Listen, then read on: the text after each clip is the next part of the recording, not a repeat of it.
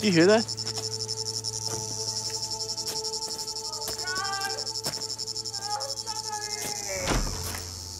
Help me! Please, please, I need help! Oh, God! She said she was going to take a nap. I, I was downstairs. And I heard her screaming. Something cracked inside her and her body and her face.